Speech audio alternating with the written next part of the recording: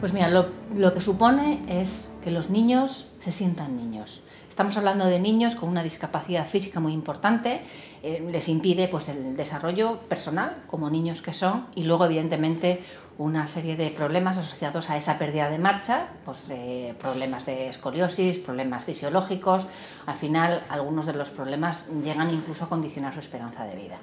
Con lo cual lo que tenemos eh, es un dispositivo que les da la capacidad de ponerse de pie, de caminar, de jugar, de moverse espacialmente, de relacionarse con otras personas y por tanto tiene un impacto, por un lado físico, lógicamente, de rehabilitación y por otro lado psicológico, de desarrollo personal importantísimo.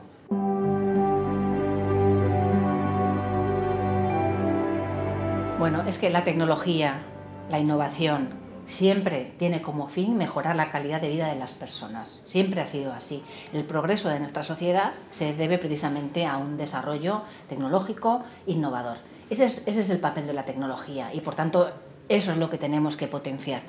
Y evidentemente si llegamos a cumplir esas necesidades podemos llegar a tener una mejora de nuestra calidad de vida.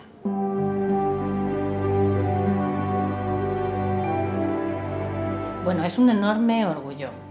Desde luego, es una organización que tiene unos valores de humanidad, de solidaridad, y en los que realmente todo lo que nosotros estamos trabajando en todos estos años, pues tenemos una clara confluencia. Nosotros trabajamos precisamente para mejorar la calidad de vida de las personas, en este caso de niños, de familias que tienen una problemática muy, muy grave. Darles ese puntito de esperanza y de mejora de su calidad de vida es, es nuestra, nuestro papel, ¿no? a través, en nuestro caso, de la tecnología tener el reconocimiento de Cruz Roja, que precisamente tiene todas estas, todos estos valores en su, en su sello, en su, en su firma, ¿no? pues es un, reafirma que todo lo que estamos haciendo va por el buen camino y por tanto bueno, pues es, es un enorme orgullo.